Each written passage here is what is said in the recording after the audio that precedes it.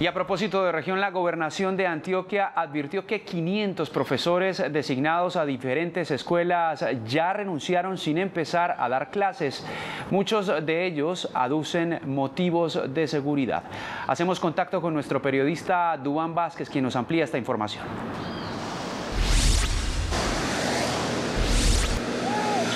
Andrés, televidentes, buenas tardes. Entre las principales razones está el tema de la inseguridad en algunos territorios donde hay fuerte presencia de los grupos al margen de la ley.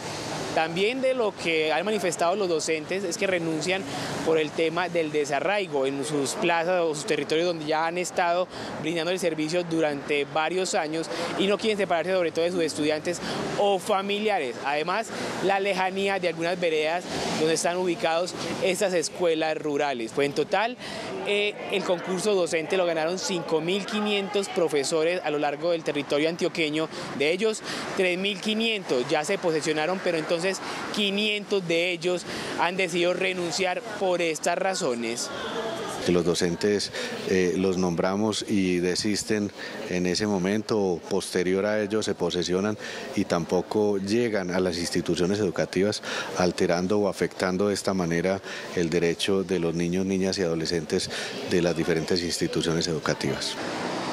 Ituango, Anori y también Necoclí son algunos de los territorios donde los docentes han decidido renunciar a las plazas que ya habían sido asignadas por algunos temas personales o temor a estos territorios.